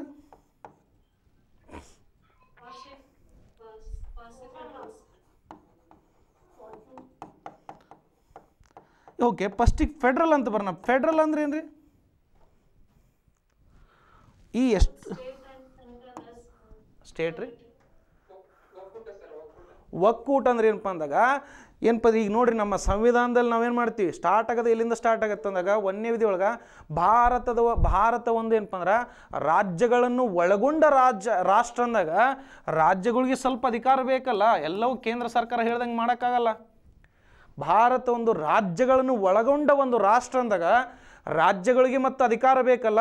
ಈ ಫೆಡ್ರಲ್ ಅಂತೀವಲ್ಲ ಫೆಡ್ರಲ್ ಅನ್ನೋದು ಏನಪ್ಪ ಅಂದಾಗ ಯಾವುದೇ ಒಂದು ದೇಶ ಫೆಡ್ರಲ್ ಅಂತ ಕರಿಬೇಕಾದ್ರೆ ಏನಂತ ಅಂದಾಗ ಬೇರೆ ಬೇರೆ ರಾಜ್ಯಗಳನ್ನು ಒಳಗೊಂಡು ಒಂದು ರಾಷ್ಟ್ರ ವಿತ್ ಅ ಸ್ಟ್ರಾಂಗ್ ಸೆಂಟರ್ ಅಂತೀವಿ. ಕೇಂದ್ರ ಸರ್ಕಾರ ಅತಿ ಬಲವಾಗಿರ್ತೈತಿ. ಬೆಸ್ಟ್ ಎಕ್ಸಾಂಪಲ್ ಇಲ್ಲಿ ಆಸ್ಟ್ರೇಲಿಯಾ ನೋಡ್ಕೊಡ್ಲಿ. ಅಲ್ಲೇನಪ್ಪ ಅಂದ್ರೆ ಫೆಡರಲ್ ಸ್ಟ್ರಕ್ಚರ್ಲಿ ಕೇಂದ್ರ ಸರ್ಕಾರ ಭಾಳ ಸ್ಟ್ರಾಂಗ್ ಇದೆ. ರಾಜ್ಯ ಸರ್ಕಾರಕ್ಕೆ ಏನೋ ನಿರ್ಧಾರ ತೊಗೊಂಡ್ರು ಅವರು ಅದನ್ನು ಕ್ಯಾನ್ಸಲ್ ಮಾಡ್ಬೋದು. ಆದರೆ ಭಾರತ ಒಂದು ಏನಪ್ಪ ಅಂದ್ರೆ ರಾಜ್ಯಗಳನ್ನು ಒಳಗೊಂಡ ರಾಷ್ಟ್ರದಕ್ಕೆ ಏನು ಮಾಡಿದೆವು ನಾವು? ಫೆಡ್ರಲ್ ಅಂತ ತೊಗೊಂಡಿಲ್ಲ. ನಾವು ಕ್ವಾಸಿ ಫೆಡ್ರಲ್ ಅಂದಾಗ ಕೆಲವೊಂದಿಷ್ಟು ಅಧಿಕಾರಿಗಳು ರಾಜ್ಯ ಸರ್ಕಾರಿಗಳು ಬಿಟ್ಟಿದ್ದಾರೆ. ಕೆಲವೊಂದಿಷ್ಟು ರಾಜಕಾರಣ ಕೇಂದ್ರನ ತೊಗೊಂಡಿದ್ದಾಗ ಎಷ್ಟೋ ಪರೀಕ್ಷೆಲಿಕ್ಕೆ ಕೇಳಿದಾರೆ ಈ ಫೆಡ್ರಲ್ ಈ ಫೆಡ್ರಲ್ ಅನ್ನೋ ಸ್ಟ್ರಕ್ಚರ್ನ ನಾವು ಯಾವ ದೇಶದಿಂದ ಎರವಲು ಮಾಡ್ಕೊಂಡೇವ್ರಿ? ಎಷ್ಟೋ ಪರೀಕ್ಷೆಯಲ್ಲಿ ಕೇಳಿರ ಯಾವ ದೇಶ? ಬ್ರಿಟನ್. ಮತ್ತೆ? ಅಮೇರಿಕ. ಮತ್ತೆ? ಯಾವ್ದ್ರಿ? ಕೆನಡಾ. ಓಕೆ. ಇಲ್ಲಿ ನೋಡ್ಕೊಡ್ಲಿ ಈ ಫೆಡ್ರಲ್ ಅನ್ನುವ ಅನ್ನುವ ಕಾನ್ಸೆಪ್ಟ್ ನಾವು ಕೆನಡಾ ದೇಶದಿಂದ ಎರವಲು ಮಾಡ್ಕೊಂಡು ಪ್ಲೀಸ್ ನೆನ್ಪಿಟ್ಕೊಡ್ರಿ ಯು ಕೆ ಅಲ್ಲ ನೆಕ್ಸ್ಟ್ ಅಮೇರಿಕಾ ಅಲ್ಲ. ಕೆನಡಾ ದೇಶದಿಂದ ನಾವು ಏನಪ್ಪ ಅಂದ್ರೆ ಫೆಡ್ರಲ್ ಅನ್ನೋದನ್ನು ಏನಪ್ಪ, ಎರವಲು ಮಾಡ್ಕೊಂಡಿವಿ ಓಕೆ ಮತ್ತು ಇದೇ ಮಾದರಿಯಲ್ಲಿ ಇವಾಗ ಫಾರೆಸ್ಟ್ ಅನ್ನೋದು ಮೂರು ಅಂತ ಬರ್ತವಲ್ಲ ನಮ್ಮಲ್ಲಿ ಇಲ್ಲಿ. ಕೇಂದ್ರ ಪಟ್ಟಿ, ರಾಜ್ಯ ಪಟ್ಟಿ, ಸಮವರ್ತಿ ಪಟ್ಟಿ. ನಮ್ಮಲ್ಲಿ ಏನಪ್ಪ ಅಂದ್ರೆ ಸಂವಿಧಾನದಲ್ಲಿ ಏನಪ್ಪ ಅಂದ್ರೆ ಮೂರು ಬರ್ತು. ಕೇಂದ್ರ ಪಟ್ಟಿ, ರಾಜ್ಯ ಪಟ್ಟಿ, ಸಮವರ್ತಿ ಪಟ್ಟಿ ಅಂತೇಳಿ ಓಕೆ ಹಾಗಾದರೆ ಹಾಗಾದರೆ ನಮ್ಮಲ್ಲಿ ಪ್ರಸ್ತುತವಾಗಿ ಕೇಂದ್ರ ಪಟ್ಟಿಯಲ್ಲಿ ಎಷ್ಟು ವಿಷಯಗಳದವು? ರಾಜ್ಯ ಪಟ್ಟಿಯಲ್ಲಿ ಎಷ್ಟು ವಿಷಯಗಳದವು ರೀ? ಕೇಂದ್ರ ಪಟ್ಟಿ ನೂರ ಒಂದು. ಮತ್ತೆ?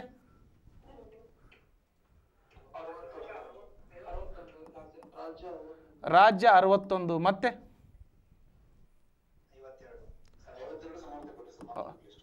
ಕೇಂದ್ರ ಪಟ್ಟಿ ನೂರ ಒಂದದವ ಎಷ್ಟದ ನೋಡ್ರಿ ನಿಮ್ಮೆ? ಓಕೆ ನೂರು ಮತ್ತೆ? ಮತ್ತೆ? ನೂರು ಓಕೆ ನೂರು ಮತ್ತೆ?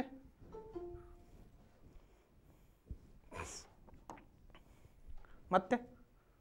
ಸೊ ಪ್ಲೀಸ್ ನೆನ್ಪಿಟ್ಕೊಳ್ರಿ, ಕೇಂದ್ರ ಪಟ್ಟಿಯಲ್ಲಿ ಮೊದಲು ಇದ್ದು ಇಷ್ಟು, ಆದರೆ ನೂರ ಒಂದನೆಯ ತಿದ್ದುಪಡಿ ಏನು ಜಿ ಎಸ್ ಟಿ ಅಂತಿರಲ್ಲ. ನೂರ ಒಂದನೇ ತಿದ್ದುಪಡಿ ಮುಖಾಂತರ ಕೆಲವೊಂದಿಷ್ಟು ಕೆಲವೊಂದಿಷ್ಟು ಏನಪ್ಪ ಅಂದ್ರೆ, ಕೆಲವೊಂದಿಷ್ಟು ಪದ್ದ ವಿಷಯಗಳನ್ನ ಏನಪ್ಪ ಡ್ರಾಪ್ ಮಾಡಿದ್ರೆ ಲೈಕ್ ಈಗ ಅಡ್ವರ್ಟೈಸ್ಮೆಂಟಲ್ಲಿ ಏನಪ್ಪ ಅಂದ್ರೆ ಸಾರಿ ನ್ಯೂಸ್ ಪೇಪರ್ ಅಡ್ವರ್ಟೈಸ್ಮೆಂಟ್ ಕೊಡೋಕೆ ತೆರಿಗೆ, ಇವನ್ನೆಲ್ಲ ಮರ್ಜ್ ಮಾಡ್ಕೊಂಡು ಏನಪ್ಪ ಅಂದಾಗ, ಎರಡು ಏನಪ್ಪ ಅಂದ್ರೆ, ಎರಡು ತೆರಿಗೆನ ಮರ್ಜ್ ಮಾಡಿದಾರೆ. ಪ್ರಸ್ತುತವಾಗಿ ಏನಪ್ಪ ಅಂದ್ರೆ, ತೊಂಬತ್ತೆಂಟು ಪ್ಲೀಸ್ ನೆನ್ಪಿಟ್ಕೊಳ್ರಿ. ಎಲ್ಲ ಪುಸ್ತಕದಲ್ಲಿ ನೂರು ಅಂತ ಐತಿ ಓಕೆ ಆದರೆ ನೂರು ಅಂತ ಹೇಳ್ಬೇಕಂದಾಗ, ಮತ್ತು ಜಿ ಎಸ್ ಟಿ ಉದ್ದೇಶರೇನು? ನೂರ ಒಂದನೇ ತಿದ್ದುಪಡಿ ಜಿ ಎಸ್ ಟಿ ಮುಖಾಂತರ ಕೆಲವೊಂದಿಷ್ಟು ತೆರಿಗೆಗಳನ್ನೇನಪ್ಪ ಮರ್ಜ್ ಮಾಡಿದ್ದಾರೆ ಮರ್ಜ್ ಮಾಡಿದಾರಲ್ಲ, ಪ್ರಸ್ತುತವಾಗಿ ಕೇಂದ್ರ ಪಟ್ಟಿಯಲ್ಲಿ ನೂರಿಲ್ಲ. ಪ್ಲೀಸ್ ಇದು ಯಾವ ಬುಕ್ ನೋಡಿ ತಪ್ಪು ಹಾಕ್ಬೇಡ್ರಿ ಪ್ರಸ್ತುತವಾಗಿ ನೂರಿಲ್ಲ.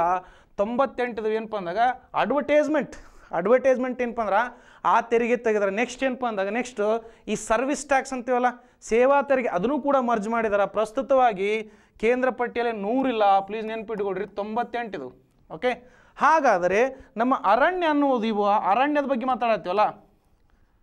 ಈ ಅರಣ್ಯ ಅನ್ನೋದು ಯಾವ ಪಟ್ಟಿಯಲ್ಲಿ ಬರ್ತೈತ್ರಿ? ಅರಣ್ಯ ಅನ್ನೋದು ಯಾವ ಪಟ್ಟಿಯಲ್ಲಿ ಬರ್ತೈತ್ರಿ? ಅರಣ್ಯ ಅನ್ನೋದು ನೆನ್ಪಿಟ್ಕೊಳ್ರಿ ಅರಣ್ಯ ಅನ್ನೋದು ಏನಪ್ಪ ಅಂದ್ರೆ ಸಮವರ್ತಿ ಪಟ್ಟಿಯಲ್ಲಿ ಬರ್ತೈತೆ ಅಂದಾಗ, ನಾ ಏನಂತ ಹೇಳಿದ್ರೆ ಕೇಂದ್ರ ಸರ್ಕಾರ ಅಥವಾ ಸಾರಿ ರಾಜ್ಯ ಸರ್ಕಾರ ಯಾವುದೇ ಒಂದು ಯಾವುದೇ ಒಂದು ಸ್ಥಾನವನ್ನು ಪ್ರೊಟೆಕ್ಟೆಡ್ ಏರಿಯಾ ಅಥವಾ ಸಂರಕ್ಷಣಾ ವಲಯ ಅಂತ ಘೋಷಣೆ ಮಾಡ್ತೈತಿ, ಅದನ್ನು ಕೇಂದ್ರ ಸರ್ಕಾರ ಕಾಪಾಡ್ತೈತೆ ಅಂದಾಗ, ಕೇಂದ್ರ ಮತ್ತು ರಾಜ್ಯ ಎರಡೂ ಕೂಡ ಇಲ್ಲಿ ಕೆಲಸ ಮಾಡ್ತಾ ಇದೆ ಅಂದಾಗ, ಅರಣ್ಯ ಅನ್ನೋದು ಸಮವರ್ತಿ ಪಟ್ಟಿಯಲ್ಲಿ ಬರ್ತೈತಿ. ಪ್ಲೀಸ್ ನೆನ್ಪಿಟ್ಕೊಂಡು ರಾಜ್ಯ ಅಲ್ಲ, ಈ ಸಮವರ್ತಿ ಪಟ್ಟಿ ಯಾವ ದೇಶದಿಂದ ಎರವಲು ಮಾಡ್ಕೊಂಡಿದ್ದೇನು ಸೊ ಪ್ಲೀಸ್ ಸೊ ನೆನ್ಪಿಟ್ಕೊಡ್ರಿ ಆಸ್ಟ್ರೇಲಿಯಾ. ಸಮವರ್ತಿ ಪಟ್ಟಿ ಅನ್ನೋದು ಆಸ್ಟ್ರೇಲಿಯಾದಲ್ಲಿ ನೆನ್ಪಿಟ್ಕೊಳ್ರಿ, ಆಸ್ಟ್ರೇಲಿಯಾದ ತಂದೆ ಅಂದಾಗ. ಸೊ ಪ್ಲೀಸ್ ನೋಡ್ಕೊಡ್ರಿ ನೂರ ಆರಕ್ಕೆ ನೂರ ಆರನೂ ಬ್ಯಾಟ್ ಹೊಡಿಬೇಡ್ರಿ. ಜಸ್ಟ್ ನ್ಯೂಸಲ್ಲಿ ಯಾವ ಇರ್ತವು, ಸುದ್ದಿಯಲ್ಲಿ ಯಾವ ರಾಷ್ಟ್ರೀಯ ಉದ್ಯಾನ ಇರ್ತವು, ಅದ್ರ ಜೊತೆ ಏನಪ್ಪ ಅಂದಾಗ, ಒಂದು ಪಾಯಿಂಟ್ ಬಂದಾಗ ನೀವು ಎಲ್ಲ ವಿಷಯಗಳನ್ನ ಏನಪ್ಪ ಅಲ್ಲಿ ಜೋಡಣೆ ಮಾಡಿಕೊಡ್ರಿ. ಸೊ ಪ್ಲೀಸ್ ಇದು ಎಷ್ಟೋ ಬುಕ್ಸ್ ತಕ್ಕದಲ್ಲಿ ಎಷ್ಟು ಇನ್ನೂ ಕನ್ಫ್ಯೂಸ್ ಇದ್ದಾರೆ ಏನಪ್ಪ ಅಂದ್ರೆ, ನೂರು ಅಂತಲೇ ಓದ್ತೀವಿ ಪುಸ್ತಕದಲ್ಲಿ, ಆದರೆ ಪ್ರಸ್ತುತವಾಗಿ ತೊಂಬತ್ತೆಂಟು ಇದಾವು. ಸೊ ಪ್ಲೀಸ್ ಸ್ವಲ್ಪ ಅಪ್ಡೇಟ್ ಆಗಿ ನೂರಲ್ಲ, ತೊಂಬತ್ತೆಂಟು. ಯಾಕಂದ್ರೆ ನೂರ ಒಂದನೇ ತಿದ್ದುಪಡಿ ಜಿ ಎಸ್ ಟಿ ಇದೆ. ಜಿ ಎಸ್ ಟಿಯಲ್ಲಿ ಎರಡು ತೆರಿಗೆಗಳನ್ನ ಏನಪ್ಪ ಅಂದ್ರೆ ತೆಗೆದು ಹಾಕಿದ್ದಾರೆ. ಓಕೆ ಅರ್ಥ ಆಯ್ತಾ ಇದು? ಅರ್ಥ ಆಯ್ತಾ? ಓಕೆ ಸೊ ಇಲ್ಲಿ ನೋಡ್ಕೊಡ್ಲಿ ನೆಕ್ಸ್ಟು ಪ್ರಶಸ್ತಿಗಳು. ಸೊ ಪ್ಲೀಸ್ ನೆನ್ಪಿಟ್ಕೊಡ್ರಿ ಪ್ರಶಸ್ತಿಗಳು ಅಂತ ಬಂದಾಗ ಎಲ್ಲ ಪ್ರಶಸ್ತಿಗಳನ್ನ ಓದೋ ಅವಶ್ಯಕತೆ ಇಲ್ಲ. ಆದರೆ ಪ್ರಶಸ್ತಿಗಳು ಅಂತ ಬಂದಾಗ ನಿಮ್ಮ ಪ್ರಶಸ್ತಿಯಲ್ಲಿ ಒಂದು ಕೀ ಪಾಯಿಂಟ್ ನೋಡ್ಕೊಳ್ರಿ ಯಾವಾಗಾದರೂ ಮೊದಲನೆಯ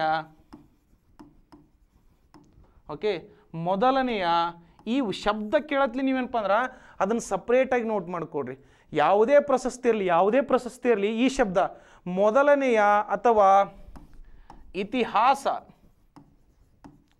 ಇಲ್ಲಿರ್ತೈತೆ ನೋಡಿ ನಿಮ್ಮ ಕರೆಂಟ್ ಅಫೇರ್ಸಲ್ಲಿ ಏನಪ್ಪ ಅಂದ್ರೆ ಇತ್ತೀಚೆಗೆ ಇತ್ತೀಚೆಗೆ ಏನಪ್ಪ ಅಂದ್ರೆ ಇವರು ಇತಿಹಾಸ ಸೃಷ್ಟಿ ಮಾಡಿದರು ಅಂತ ಇರ್ತೈತಿ ಇಲ್ಲತ್ತಂದ್ರೆ ಮೊಟ್ಟ ಮೊದಲ ಯಾವುದೋ ಒಂದು ದೇಶದಿಂದ ಮೊಟ್ಟ ಮೊದಲ ಅಂದಾಗ ಐ ಥಿಂಕ್ ಇತ್ತೀಚೆಗೆ ನೀವು ಕರೆಂಟ್ ಅಫೇರ್ಸ್ ಓದಬೇಕಾದ್ರೆ ಲೆಟ್ ಮಿಗೆ ಎರಡು ದಿನ ಆಗಿ ಹಿಂದಿಲಾಗಿದ್ದು ನೋಡ್ಕೊಳ್ಳಿ ಟೆನ್ನಿಸ್ ಓಕೆ ಟೆನ್ನಿಸ್ಸಲ್ಲಿ ಟೆನ್ನಿಸ್ಸಲ್ಲಿ ಟೆನ್ನಿಸ್ಸಲ್ಲಿ ಪುರುಷ ಮತ್ತು ಮಹಿಳೆ. ಎರಡೂ ವಿಜೇತರಿದ್ದಾರೆ. ಪುರುಷ ಮತ್ತು ಮಹಿಳೆ ಎರಡೂ ವಿಜೇತರಿದ್ದಾರೆ.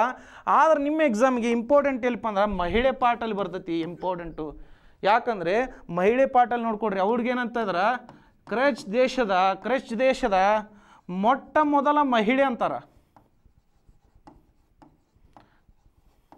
ಅವ್ರಿಗೆ ಹೆಗ್ಗಳಿಕೆ ಏನು ಸಿಕ್ತೆ ಅಂದಾಗ, ಇಲ್ಲಿ ನೋಡ್ಕೊಡು, ಪುರುಷ ಅಂದಾಗ ಜೋಕೋವಿಕ್.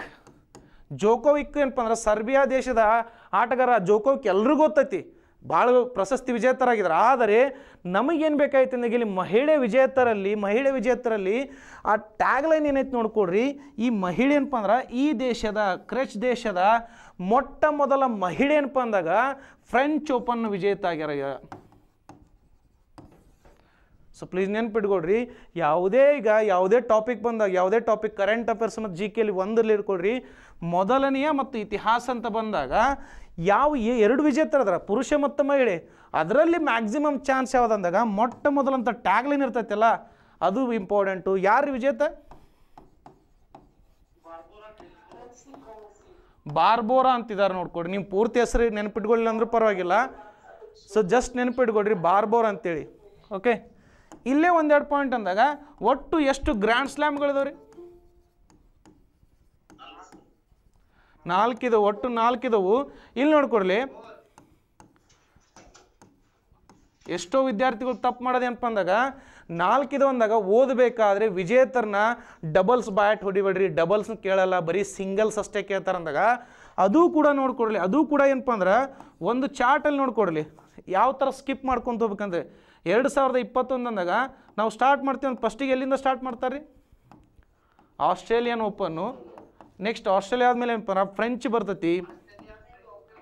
ಫ್ರೆಂಚ್ ಬರ್ತೈತಿ. ನೆಕ್ಸ್ಟ್ ವಿಂಬಲ್ಡನ್ ಬರ್ತೈತಿ. ನೆಕ್ಸ್ಟು ಯು ಎಸ್ ಬರ್ತೈತಿ. ಓಕೆ ಯು ಎಸ್ ಬರ್ತೈತಿ ಅಂದಾಗ, ನನ್ನ ಪರೀಕ್ಷೆ ಈಗ ನೆಕ್ಸ್ಟ್ ಮಂತ್ ಐತೆ ಅಂದಾಗ, ನನಗೆ ಪ್ರಸ್ತುತವಾಗಿ ಎಲ್ಲಿ ತನಕ ವಿಜೇತರು ಸಿಕ್ಕಾರೀಗ ನನ್ನ ಪರೀಕ್ಷೆ ಇವಾಗ ಆಗಸ್ಟ್ ತನ ಐತೆ ಅಂತ ತಿಳ್ಕೊಡ್ರಿ ನನಗೇನಪ್ಪ ಅಂದ್ರೆ ಆಸ್ಟ್ರೇಲಿಯಾ ಮತ್ತು ಪೆ, ಫ್ರೆಂಚ್ ವಿಜೇತರ ಅಷ್ಟೇ ಗೊತ್ತಿದ್ರೆ ಯಾಕಂದಾಗ ನನಗೆ ಇವು ಇನ್ನೂ ನಡೆದಿಲ್ಲ. ಆಗಲೇ ನನ್ನ ಪರೀಕ್ಷೆ ಬಂದೈತಿ. ಅವಾಗ ಏನು ಮಾಡ್ಕೊಂಡ್ರೆ ಆಸ್ಟ್ರೇಲಿಯಾ ಪುರುಷ ಮತ್ತು ಮಹಿಳೆ, ಫ್ರೆಂಚ್ ಪುರುಷ ಮತ್ತು ಮಹಿಳೆ. ಓಕೆ? ಇಲ್ಲಿ ನೋಡ್ಕೊಡ್ರಿ, ಆಸ್ಟ್ರೇಲಿಯಾದಾಗ ಇದನ್ನು ಕೇಳುವ ಸಾಧ್ಯತೆ ಸ್ವಲ್ಪ ಕಡಿಮೆ. ಆಸ್ಟ್ರೇಲಿಯಾ ಕೇಳುವ ಸಾಧ್ಯತೆ ಸ್ವಲ್ಪ ಕಡಿಮೆ. ಯಾಕಂದಾಗ ಇಲ್ಲಿ ನೋಡ್ಕೊಡ್ರಿ, ಇಲ್ಲಿ ಜೋಕೋ, ಮತ್ತು ಜೋಕೋವಿಕ್ ಅದಾನ. ಎಲ್ರಿಗೂ ಗೊತ್ತಿದ್ದಾರೆ ಜೋಕೋವಿಕ್ ಯಾರು ಅಂತೇಳಿ. ನೆಕ್ಸ್ಟ್ ಇಲ್ಲಿ ಏನಪ್ಪ ಅಂದ್ರೆ ಒಸಾಕ ಇದಾರ. ಜಪಾನ್ ದೇಶದ ಆಟಗಾರ್ತಿ ಒಸಾಕ ಒಸಾಕ ಅವರಿದ್ದಾರೆ ಅವರು ಎಲ್ರಿಗೂ ಗೊತ್ತು. ಆದರೆ ಈ ಫ್ರೆಂಚ್ ಓಪನಲ್ಲಿ ಏನಪ್ಪ ಅಂದ್ರೆ ಒಂದು ಇತಿಹಾಸ ಸೃಷ್ಟಿಯಾಗಿತ್ತು ಏನಪ್ಪ ಅಂದಾಗ ಈ ದೇಶದ ಮೊಟ್ಟ ಮೊದಲ ಮಹಿಳೆ ಏನಪ್ಪ ಅಂದಾಗ ಒಂದು ಇಂಥ ದೊಡ್ಡ ಟೆನ್ನಿಸ್ ಆಟವನ್ನು ಗೆದ್ದಿರೋದ್ರಿಂದಾಗ ಇದರಲ್ಲಿ ಏನಪ್ಪ ಅಂದ್ರೆ ಮಹಿಳೆ ಕೇಳೋ ಸಾಧ್ಯತೆ ಪ್ಲೀಸ್ ನೋಡ್ಕೊಡ್ರಿ ಇದರಲ್ಲಿ ನೆನ್ಪಿಟ್ಕೊಡ್ರಿ ನಿಮಗೆ ಗೊತ್ತಿರೋ ಪ್ರಕಾರ ಆಲ್ರೆಡಿ ವಿಂಬಲ್ಡನ್ ಕ್ಯಾನ್ಸಲ್ ಮಾಡಿದಾರೆ ಆಫಿಷಿಯಲಾಗಿ ಘೋಷಣೆ ಮಾಡಿದಾರೆ. ಯಾರಿಗಾದ್ರೂ ಗೊತ್ತಿರಬೇಕದು ಆಫಿಷಿಯಲಾಗಿ ಘೋಷಣೆ ಮಾಡಿದ್ದಾರೆ, ಗೊತ್ತಾ? ವಿಂಬಲ್ಡನ್ ನಡೆಯಂಗಿಲ್ಲ, ಇದನ್ನು ಆಫಿಷಿಯಲಾಗಿ ಕ್ಯಾನ್ಸಲ್ ಮಾಡಿದ್ದಾರೆ ಇವಾಗ.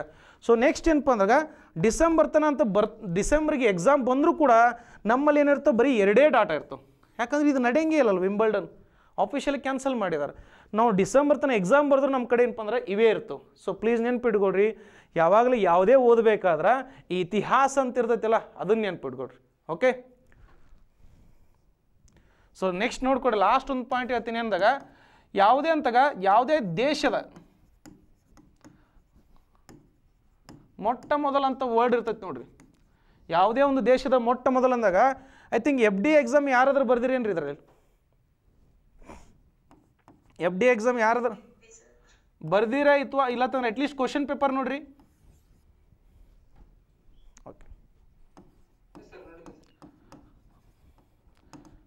ನಿಮ್ಗೊಂದು ಸಿಂಪಲ್ ಕ್ವಶನ್ ಇತ್ತು, ಬರಾಕ್ ಅನ್ನುವುದು ಯಾವ ದೇಶದ ಅಣುಸ್ಥಾವರ ಅಂತ ಒಂದು ಕ್ವಶನ್ ಕೇಳಿದ್ದ, ನೋಡಿರಿ. ಯಾಕಂದ್ರೆ ನಿಮ್ಮ ಎಕ್ಸಾಮ್ಗೆ ಅಣುಸ್ಥಾವ ಅಣುಸ್ ಅಣುಸ್ಥಾರದ ಮೇಲೆ ಕ್ವಶನ್ ಕೇಳ್ತಂದಾಗ ಇದು ಯಾವ ದೇಶದ್ರಿ? ಎ ದೇಶ, ನೆನ್ಪಿಟ್ಕೊಳ್ರಿ. ನನಗೇನು ಬೇಕಂದಾಗ, ಈ ಕ್ವಶನ್ ಮೇಲೆ ಪ್ರೆಡಿಕ್ಷನ್ ಹೆಂಗೆ ಮಾಡ್ಕೊಂಡ್ರಿ ನೋಡ್ರಿ ಯು ಎ ದೇಶದ ಯಾಕೆ ಕೊಟ್ಟ ಅಂದಾಗ, ಇದು ಎರಡು ಸಾವಿರದ ಇಪ್ಪತ್ತು ಆಗಸ್ಟಲ್ಲಿ ಆಗಸ್ಟಲ್ಲಿ ಏನಪ್ಪ ಅಂದಾಗ, ಉದ್ಘಾಟನೆ ಐತಿ ಏನಪ್ಪ ಅಂದಾಗ, ಇವೇ ದೇಶದ ಬರಾಕ್ ಅಣಿಸ್ತಾವ್ರ ಉದ್ಘಾಟನೆ ಆಯ್ತು ನಮ್ಮಲ್ಲೇ ಇಷ್ಟು ಅನಿಸ್ತಾ ಇರೋದು, ಮತ್ತು ಇದನ್ನೇ ಯಾಕೆ ಕೇಳ್ಬೇಕಂದಾಗ ಈ ಬರಾಕ್ ಅನ್ನೋದು ಹೆಗ್ಗಳಿಕೆ ಏನಂತಂದ್ರೆ, ಇವೇ ದೇಶದ ಮೊಟ್ಟ ಮೊದಲ ಅಣುಸ್ಥಾವರ ಉದ್ಘಾಟನೆ ಆಗೈತೆ ಅಂತೇಳಿ ಏನಪ್ಪ ಅಂದ್ರೆ ನಾನು ಸುದ್ದಿಯಲ್ಲಿ ಬಂತು. ಅದಕ್ಕೆ ನಿಮ್ಮ ಫೆಬ್ರವರಿ ಎಫ್ ಡಿ ಎಲ್ಲಿ ಏನಪ್ಪ ಅಂದ್ರೆ ಫೆಬ್ರವರಿ ಎಫ್ ಡಿ ಎಲ್ಲಿ ಈ ಕ್ವಶನ್ ಎತ್ತಾಕಿದೆ ಇದೇ ಮಾದರಿಯಲ್ಲಿ ಇದೇ ಮಾದರಿಯಲ್ಲಿ ಇತ್ತೀಚೆಗೆ ಯಾರು ನೋಡಿರ್ಬೇಕು ಈ ಕರೆಂಟ್ ಅಫೇರ್ಸು ರೂಪುರನ್ನು ಅಣಿಸ್ತಾ ಅವರ ಸುದ್ದಿಯಲ್ಲಿತ್ತು. ರೂಪುರನ ಸುದ್ದಿ ಸುದ್ದಿಯಲ್ಲಿತ್ತು ಏನಪ್ಪ ಅಂದಾಗ ಇದು ಬಾಂಗ್ಲಾದೇಶದ ಬಾಂಗ್ಲಾದೇಶದ ಮೊಟ್ಟ ಮೊದಲ ಅಣುಸ್ಥಾವರ ಬಾಂಗ್ಲಾದೇಶದ ಮೊಟ್ಟ ಮೊದಲ ಅಣುಸ್ತಾವರ ರೂಪುರ್ ಅನ್ನೋದು ಸುದ್ದಿಯಲ್ಲಿ ಐತಂದಾಗ ನನಗೆ ದೇಶದ ಮೊಟ್ಟ ಮೊದಲ ಅಂದಾಗ ಆಲ್ರೆಡಿ ಮನೆ ಮನೆ ಎಫ್ ಡಿ ಎಲ್ಲಿ ಕೇಳಿ ಅಂದಾಗ, ಇದೇ ಟೈಪಲ್ಲಿ ಏನಪ್ಪ ಅಂದಾಗ ನಿಮ್ಗೆ ಬಾಂಗ್ಲಾದೇಶದ ಮೊಟ್ಟ ಮೊದಲ ಅಣಿಸ್ತಾವರ ಕೇಳ್ಬೋದು. ಯಾಕಂದ್ರೆ, ಇವರಿಗೆ ಸ್ವಾತಂತ್ರ್ಯ ಸಿಕ್ಕ ಐವತ್ತು ವರ್ಷ ಆಗೈತಿ. ಸೊ ನಿಮ್ಮ ಎಕ್ಸಾಮಲ್ಲಿ ಒಂದು ಕ್ವಶನ್ ಬಾಂಗ್ಲಾದೇಶ ರಿಲೇಟೆಡ್ ಇರ್ತೈತಿ ಅಣುಸ್ತಾವರ ಸುದ್ದಿಯಲ್ಲಿ ಐತಿ. ಓಕೆ ಸೊ ಇದೇ ಥರ ನೀವೇನು ಮಾಡಿರಿ, ಎಲ್ಲ ಕ್ವಶನ್ ಆ ಮೊಟ್ಟ ಮೊದಲ ಅವನ್ನೆಲ್ಲ ಸ್ವಲ್ಪ ಸಪ್ರೇಟಾಗಿ ಇಟ್ಕೊಳ್ರಿ. ನೆಕ್ಸ್ಟ್ ನಿಮ್ಗೆ ಕಂಟಿನ್ಯೂ ಡೌಟ್ ಸೆಷನ್ ಇರ್ತೈತಲ್ಲ, ಅವಾಗ ಅವಾಗ ನಾವು ಇಂಪಾರ್ಟೆಂಟ್ ಟಾಪಿಕ್ಸ್ನು ಕೊಡ್ತೀವಿ ಓಕೆ ಸೊ ನೆಕ್ಸ್ಟ್ ಏನಿದೆ ಅಲ್ಲ ನೆಕ್ಸ್ಟ್ ಇನ್ನು ಕರೆಂಟ್ ಅಫೇರ್ ಸ್ಟಾರ್ಟ್ ಮಾಡ್ತೀವಿ, ಅದನ್ನು ನೋಡ್ಕೊಡ್ರಿ ನೆಕ್ಸ್ಟ್ ಏನಪ್ಪ ಅಂದ್ರೆ ಟ್ವೆಂಟಿ ಫಸ್ಟಿಂದ ಟ್ವೆಂಟಿ ಫಸ್ಟಿಂದ ಏನಪ್ಪ ಅಂದಾಗ, ಬರೀ ಪಿ ಎಸ್ ಐದು ಏನೈತಲ್ಲ, ಒಂದು ಕ್ರಾಶ್ ಕೋರ್ಸ್ ಮಾಡ್ತದೆ ಅದನ್ನು ಬೇಕಾದರೂ ಜಾಯಿನ್ ಮಾಡಿಕೊಡ್ರಿ ಓಕೆ ಯಾಕಂದ್ರೆ ಅಲ್ಲಿ ಏನಿರ್ತೈತೆ ಅಂದಾಗ ಲೆಂತಿಯಷ್ಟು ಸಿಲೆಬಸ್ ತೊಗೊಂಡು ಹೋಗ್ತೀವಿ. ಓಕೆ ಈಗ ಪಿ ಸಿಗೆ ಅರ್ಜೆಂಟ್ ಇರೋದ್ರಿಂದಾಗ ಯಾಕಂದ್ರೆ ಪಿ ಸಿ ಎಕ್ಸಾಮ್ ಬರ್ತವೆ ಅಂತೇಳಿ ಇದನ್ನೇನಪ್ಪ ಅಂದ್ರೆ ಕ್ರ್ಯಾಶ್ ಕೋರ್ ಬರೀ ಫಿಫ್ಟೀನ್ ಡೇಸ್ ಮಾಡಿದ್ದು. ಆ ಪಿ ಎಸ್ ಐದೇನೆಲ್ಲ ಒನ್ ಮಂತ್ ಮಾಡೋ ಪ್ಲ್ಯಾನ್ ಇದೆ. ಸೊ ಅದಕ್ಕೆ ಕೂಡ ಜಾಯ್ನ್ ಆಗ್ರಿ. ಓಕೆ ಯಾರಾದರೂ ಜಾಯ್ನ್ ಆಗ್ತಾರೆ ಆಗ್ತಾರಂದ್ರೆ ಅವ್ರಿಗೂ ಕೂಡ ಹೇಳ್ಕೊಡ್ರಿ. ಓಕೆ ಸೊ ನಾವು ರೆಗ್ಯುಲರ್ ನಿಮ್ಗೆ ಟಚ್ ಇರ್ತೀವಿ. ಹಾಂ ರೀ? ಹಾಂ ರೀ.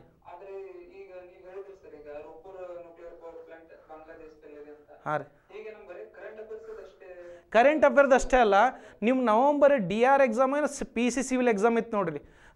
ಈ ಹೋದ ವರ್ಷ ನವಂಬರಲ್ಲಿ ಡಿ ಆರ್ ಅಥವಾ ಪಿ ಸಿ ಎರಡರಲ್ಲಿ ಒಂದು ಕ್ವಶನ್ ಏನಂತ ಕೇಳಿದಂದಾಗ ಕಕ್ರಾಪುರ ಅಣುಸ್ತಾವರ ಯಾವ ರಾಜ್ಯದಲ್ಲಿ ಬರ್ತದೆ ಅಂತ ಕೇಳಿದ ಅದು ಸ್ಟ್ಯಾಟಿಕ್ ಜಿಕೆ ಕಕ್ರಾಪುರ ಅಣುಸ್ತಾವರ ಎಲ್ಲಿ ಬರ್ತದೆ ಅಂತ ಕೇಳೋಣ ಅದು ಸ್ಟ್ಯಾಟಿಕ್ ಜಿ ಕೆ ಇವಾಗ ಎಫ್ ಡಿ ಎಲ್ ಏನಪ್ಪ ಅಂದಾಗ, ಬರಾಕ್ ಅನ್ನೋದು ಕೇಳಿದೆನಪ್ಪ ಅಂದ್ರೆ current affairs with related G K ಕೇಳಿದನು ಸೊ ಅದೇ ರಿಲೇಟೆಡ್ ತೊಗೊಂಡು ಏನಪ್ಪ ಅಂದಾಗ, ರೂಪುರ್ ಅಂತ ಹೇಳಿದ್ದೇನೆ ರೂಪುರ್ ಅಂತ ಬಂದಾಗ, ಅದ್ರ ಸುತ್ತಮುತ್ತಲು ಯಾಕೆ ನೋಡ್ಕೊಡಿ ಅಂದಾಗ, ಬಾಂಗ್ಲಾದೇಶ ಸ್ವತಂತ್ರಗೊಂಡು ಐವತ್ತು ವರ್ಷ ಆಗೈತಿ ಮತ್ತು ಭಾರತ ಅವರು ಸ್ವತಂತ್ರ ಆಗ್ಬೇಕಂದ್ರೆ ಭಾಳ ಯೋಗದಾನ ಐತಿ. ಅಂದಾಗ ನಮಗೆ ಬಾಂಗ್ಲಾದೇಶದ ಮೇಲೆ ಒಂದು ಕ್ವಶನ್ ಫಿಕ್ಸ್ ಇರ್ತೈತೆ ಅಂದಾಗ, ಒಂದು ಈ ಬಾಂಗ್ಲಾದೇಶದ ಮೊಟ್ಟ ಮೊದಲು ಅನಿಸ್ತಾವರ ರೂಪುರ್ ಇದೆ ಅಲ್ರಿ? ಬರೀ ಬಾಂಗ್ಲಾದ್ರ ಅಷ್ಟೇ ತಯಾರು ಮಾಡ್ತಾ ಇಲ್ಲ ಇದನ್ನ ಓಕೆ ಬಾಂಗ್ಲಾದೇಶ, ಭಾರತ ಮತ್ತು ರಷ್ಯಾ.